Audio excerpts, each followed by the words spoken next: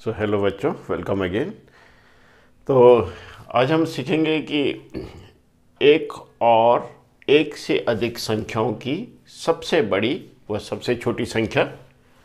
और साथ में हम ये भी पढ़ेंगे कि दिए गए अंकों से सबसे छोटी व सबसे बड़ी संख्या को बनाना। तो आइए शुरू करते हैं इसको और एक एक करके इन दोनों चीज़ों को सीखते हैं। तो सबसे पहले हम ये देखेंगे कि एक और एक से अधिक अंकों की सबसे बड़ी व सबसे छोटी संख्या कैसे पता करें? तो बच्चे, देखिए, यहाँ पर मैंने गिनती लिखी हुई है, आपके स्क्रीन में दिखाई दे रहा होगा। ये एक, दो, तीन, चार, पाँच छः सात, आठ, नौ। ये सभी संख्याएँ एक अंक की संख्याएँ हैं, एक से और नौ तक, जिसमें कि सबसे बड़ी संख्या है यहाँ पर नौ। अभी मैं केवल सबसे बड़ी संख्या के बारे में डिस्कस करूँगा, बताऊँगा आपको। तो यहाँ पर एक अंक की सबसे बड़ी संख्या है नौ, क्योंकि आपको मालूम है कि नौ के बाद दस आता है और दस में दो अंक होते हैं और दस के बाद भी सभी, जितने भी संख्याएँ होती हैं, वो सभी दो अंकों की संख्याएँ होती हैं। और ये दो अंकों की संख्याएँ कहाँ तक होती है? निन्यानबे तक होती हैं। और निन्यानबे के बाद तीन अंक की संख्या, जैसे सौ है तो इसमें तीन अंक हैं। तो निन्यानबे के बाद तीन अंक की संख्या शुरू हो जाती है।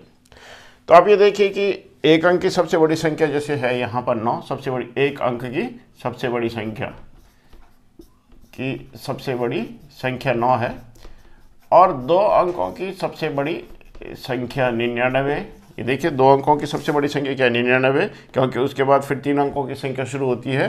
तो दो अंकों की, दो अंकों की सबसे बड़ी संख्या, सबसे बड़ी संख्या ये है यहाँ पर निन्यानवे, दो अंकों की। अब आप देखिए, सौ सौ से तीन अंकों की शुरू होती होती है।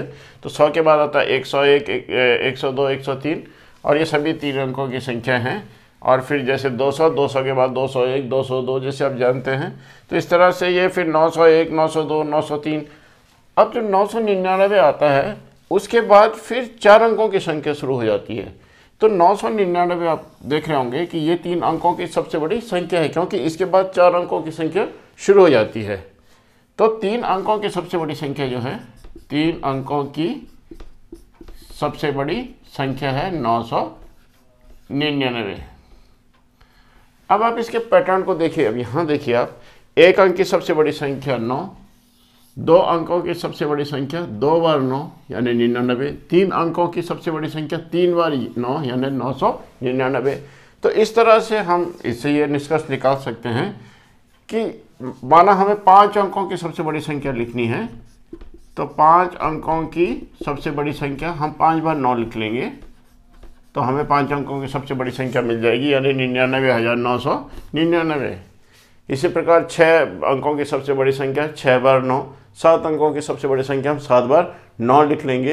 तो सबसे बड़ी संख्या लिखना बहुत आसान है, बस आपको सिर्फ़ यही दिमाग में रखना है कि कितने अंकों की सबसे बड़ी संख्या पूछी गई है, उतनी बार नौ लिखना है।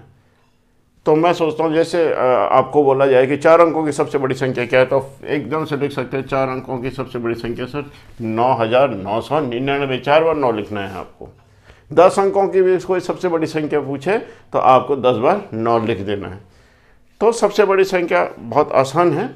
अब हम सबसे छोटी संख्या के ऊपर देखें कि सबसे छोटी संख्या कैसे निकालते हैं। तो आप देखिए, सबसे छोटी संख्या में यहाँ पर हमारी एक अंक की सबसे छोटी संख्या, जहाँ से हमारी गिनती शुरू होती है, वो है एक। हालाँकि इसमें बहुत मतभेद है, कई शून्य को सबसे छोटी संख्या मानते हैं। एक अंक की, कोई एक को मानते हैं। लेकिन जहाँ तक, क्योंकि हमारे पास वोल नंबर नहीं है, हमारे पास, यहाँ पर मैंने ये जो है, ये नेचुरल नंबर है, या इसको हम प्राकृतिक संख्याएँ भी बोलते हैं तो प्राकृतिक संख्याएँ एक से शुरू होती है। या आप बोल लीजिए गिनती वाले संख्या, अंक या संख्या है काउंटिंग नंबर्स तो वो एक से शुरू होती हैं। तो हमारा सबसे छोटा एक अंक की संख्या हम लेंगे एक। अब आप ये देखिए कि हमारे पास जो ये तो एक अंक की सबसे छोटी संख्या है। और दो अंकों की सबसे छोटी संख्या क्या है? दस, क्योंकि दस के, यहीं से दो अंकों की संख्या शुरू हो रही है। क्योंकि दस के बाद ग्यारह, जो कि दस से बड़ा है, फिर उसके बाद बारह, जो कि ग्यारह से भी बड़ा है। तो सबसे छोटी संख्या दो अंकों की होगी दस। तो दो अंकों की सबसे छोटी संख्या, दो अंकों की सबसे छोटी संख्या, सबसे छोटी संख्या। आपको पता है, ये है दस। यहाँ पर लिख लेता हूँ मैं। अब आप यहाँ आइए। ये देखिए, दो अंकों की सबसे बड़ी संख्या निन्यानबे है। और अब आप देखिए, तीन अंकों की, अब यहाँ से तीन अंक कहाँ शुरू हो रहे हैं? सौ से शुरू हो रहे हैं। सौ के बाद एक सौ एक, जो कि सौ से बड़ा है। तो तीन अंकों की ये सबसे छोटी संख्या होगी सौ। तो तीन अंकों की सबसे छोटी संख्या यहाँ पर आप आराम से बता सकते हैं। तीन अंकों की सबसे छोटी संख्या है सौ। ऐसे देखिए अब चार अंक कहाँ से शुरू हो रहे हैं? चार अंक एक हज़ार से शुरू हो रहे हैं, क्योंकि नौ सौ निन्यानबे तक तो तीन ही अंक होते हैं, लेकिन एक हज़ार में चार अंक होते हैं। तो इसके बाद जितनी भी संख्या आएँगी, जैसे एक हज़ार के बाद एक हज़ार एक एक हज़ार दो, एक हज़ार तीन, ये सब चार अंक की संख्याएँ होगी। तो जहाँ से चार अंक की संख्या शुरू हो रही है, वो सबसे छोटा चार अंक की संख्या होगी, यानी एक हज़ार जो है, चार अंकों की सबसे छोटी संख्या होगी। चार अंकों की सबसे छोटी संख्या होगी एक हज़ार। अब बच्चों, आप यहाँ ध्यान से इस पैटर्न को देखिए। देखिए, दो अंकों की सबसे छोटी संख्या क्या है? एक, इसके पीछे एक शून्य, यानी दस। तीन अंकों की सबसे छोटी संख्या क्या है? देखिए, शुरू में एक लिखा है और इसके पीछे दो और शून्य आ गया। तो ये हो गया सौ तीन अंकों। ऐसी चार अंकों की सबसे छोटी संख्या, एक, और इसके पीछे तीन शून्य। यानी हमने ये देखा पैटर्न से कि सबसे छोटी संख्या लिखने के लिए पहले हमने एक लिखना है और उसके बाद जितने ज़रूरत है उतने शून्य लगाने हैं। अब ज़रूरत कितने हैं? माना कोई आठ अंकों की सबसे छोटी संख्या पूछता है। आठ अंकों की सबसे छोटी संख्या। की सबसे छोटी संख्या। देखिए, सबसे छोटी संख्या लिखना बहुत आसान है। अब जैसे यहाँ पे आठ अंकों की सबसे छोटी संख्या पूछिए तो सबसे पहले आप लिखेंगे एक। अब क्योंकि अंक कितने होने हैं? आठ। तो इसलिए हमें इसके पीछे सात और शून्य लगाने होंगे। एक, दो, तीन, चार, पाँच छः और सात। ये हो गए आठ अंकों की सबसे छोटी संख्या। कोई चार अंकों की सबसे छोटी संख्या पूछता है तो या छः अंकों की सबसे छोटी संख्या पूछता है तो आप पहले एक लिखेंगे। अब क्योंकि छः अंक होने चाहिए छः अंकों की पूछिए तो इसका मतलब इसमें छः अंक करने के लिए हमें पाँच और इसमें शून्य लगाने पड़ेंगे। तो एक, दो, तीन, चार, पाँच, और ये हो गया आपका एक लाख। तो ये हो गया एक लाख। तो एक लाख जो है छः अंकों की सबसे छोटी संख्या है। तो अब आप समझ गए होंगे कि सबसे बड़ी संख्या और सबसे छोटी संख्या हम किस तरह से लिखें। तो चलिए, अब मैंने एक यहाँ पर एक दूसरा जो हमारा विषय है, आज का जो जिसे हमें सीखना है, उसमें मैंने दिया गया, दिए गए अंकों से सबसे छोटी व सबसे बड़ी संख्या बनाना। आपको माना यहाँ पर कोई अंक दे रखे हैं? फॉर एग्ज़ाम्पल मैंने ले लिए पाँच, सात, नौ, चार, दो। ये एक, दो, तीन, चार, पाँच अंक दिए हुए अलग अलग अब आपसे कहा जाए कि आप इन अंकों का प्रयोग करते हुए इन अंकों का प्रयोग करते हुए पाँच अंकों की, जितने अंक हैं, सारे अंकों का प्रयोग होना है। और आपने इन अंकों से सबसे बड़ी संख्या भी बनानी है और सबसे छोटी संख्या भी बनानी है। तो बहुत सिंपल सा रूल है बेटा, इसको ध्यान में रखिए बच्चों, कि अगर हमें सबसे बड़ी संख्या बनानी है दी गई अंकों से तो हम सबसे बड़ी संख्या बनाने के लिए सबसे पहले हम सबसे बड़ा वाला अंक लिखेंगे। तो सबसे बड़ा अंक पाँच, सात, नौ, चार और दो में सबसे बड़ा है नौ तो हम नौ को सबसे पहले लिखेंगे। उसके बाद ये हो गया, अब जो बाकी अंक बचे हैं, इनमें सबसे बड़ा कौन है? सात। तो नौ के बाद लिखेंगे हम सात। सात हमने लिख लिया है, अब हमारे पास तीन अंक बच गए हैं। इन तीनों में पाँच सबसे बड़ा है तो हम पहले पाँच लिखेंगे। तो पाँच भी हमने लिख लिया, उसके बाद हम लिखेंगे चार, क्योंकि दो और चार में चार बड़ा है, और अंत में लिखेंगे हम दो।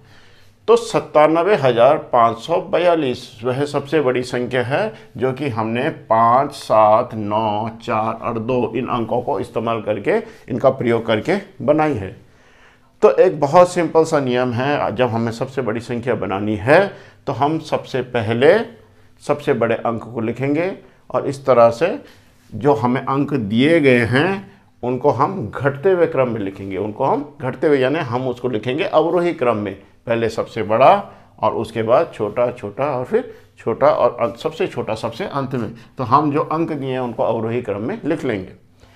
अगर हमें सबसे छोटी संख्या बनानी है तो इसका जस्ट उल्टा होगा, सबसे छोटी संख्या।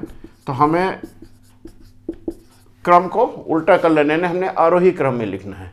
हमने दिए गए अंकों को आरोही क्रम में लिखना है। आरोही क्रम मतलब पहले सबसे छोटा, उसके बाद उसका बड़ा फिर उससे बड़ा और सबसे बड़ा, सबसे लास्ट में। तो देखिए, अगर हम इसको सबसे छोटी संख्या बनाएँगे तो सबसे छोटे अंक को हम पहले लिखेंगे, यानी दो पहले आएगा ये हमने लिख लिया है तो उसके बाद इन इन चारों में से छोटा चार है, फिर हम लिखेंगे यहाँ पे पाँच, फिर लिखेंगे हम सात, और फिर लिखेंगे हम नौ।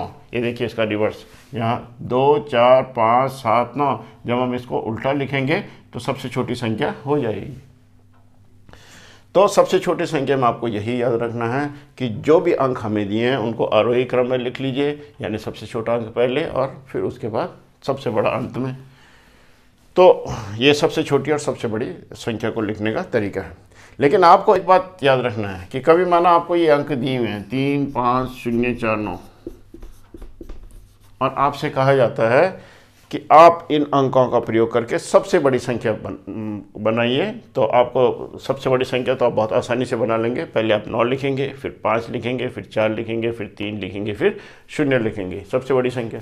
लेकिन जब आपसे कहा जाए कि इन अंकों का प्रयोग करते हुए सबसे छोटी संख्या बनाइए तो आपको ये ध्यान रखना है कि अगर दिए गए अंकों में शून्य शामिल है शून्य भी है अगर दिए गए अंकों में शून्य भी है तो जैसे मैंने कहा था, सबसे छोटी संख्या बनाते हुए आपको सबसे छोटा अंक पहले लिखना है। लेकिन अगर आप पहले शून्य से लिखेंगे अगर आप पहले शून्य लिखेंगे, उसके बाद आप माना तीन लिखेंगे, फिर आप लिखेंगे चार, फिर आप लिखेंगे पाँच और फिर आप लिखेंगे नौ। अब देखो बच्चों, कोई भी संख्या शून्य से आरंभ नहीं होती, कोई भी संख्या शून्य से आरंभ नहीं होती। इसलिए हम शून्य को सबसे पहले कभी भी नहीं रखेंगे। हम पहले शून्य को पहले छोड़ देंगे और बाकी जो संख्या जब हमें सबसे छोटी संख्या बनानी होगी तो अभी हम शून्य से हम शुरू नहीं करेंगे, शून्य को छोड़ देंगे। बाकी के जो अंक दिए हैं, उनमें से सबसे छोटा अंक है तीन तो पहले लिखेंगे हम तीन, और दूसरे नंबर पर लिखेंगे शून्य को। ये ध्यान रखिए आप कभी भी शून्य दिया है तो सबसे पहले नहीं लिखेंगे। सबसे छोटी संख्या बनाने के लिए, हम सबसे, शून्य को छोड़कर जो बाकी बचे अंक हैं, उनमें से सबसे छोटे अंक को पहले लिखेंगे और उसके बाद शून्य लिखेंगे। और फिर हम बाकी वैसी, क्योंकि हम तीन लिख चुके हैं, शून्य हम लिख चुके तो बाकी जो तीनों अंक बचे हैं, इनमें सबसे छोटा है चार, उसके बाद है पाँच और उसके बाद है नौ। तो इन संख्याओं का प्रयोग करते हुए, यानी तीन, पाँच, शून्य, चार, नौ का प्रयोग करते हुए, ये हमने सबसे छोटी संख्या बनाई है, तीस हज़ार चार सौ उनसठ। तो आपको इन्हीं चीज़ों का ध्यान रखना है। तो आई होप आप दिए गए अंकों से सबसे छोटी और सबसे बड़ी संख्या आसानी से बना पाएँगे और आप साथ साथ ये भी बता पाएँगे कि एक अंक, दो अंक, तीन अंक, चार अंकों की सबसे छोटी या सबसे बड़ी संख्या कौन सी होती है। So thanks lot